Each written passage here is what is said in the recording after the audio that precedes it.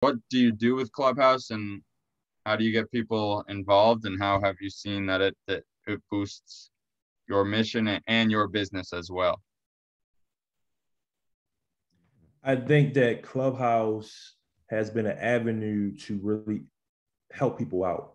Mm-hmm. Um, my room is called a Military Real Estate Investing Hour. Uh, let me give you uh, numbers since you know this is yeah. a numbers podcast.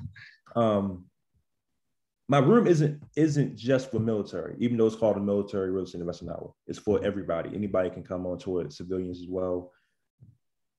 But only about 15% of all veterans, that's about 19.8% of of Americans. Wow. Um, uh, I'm sorry, 19.8 million veterans in the United yep. States, right? Yeah, yeah. Only 15% of all veterans use a VA loan.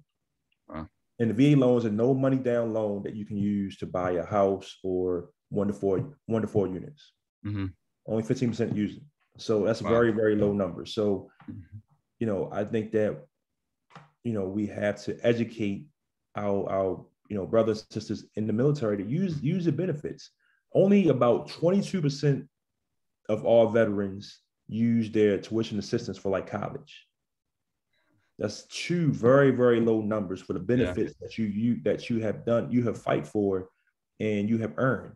You know, so I, am really confident about you know telling telling military people veterans use your benefits. You yeah. know, um, because they're there for, for a reason. Mm-hmm. So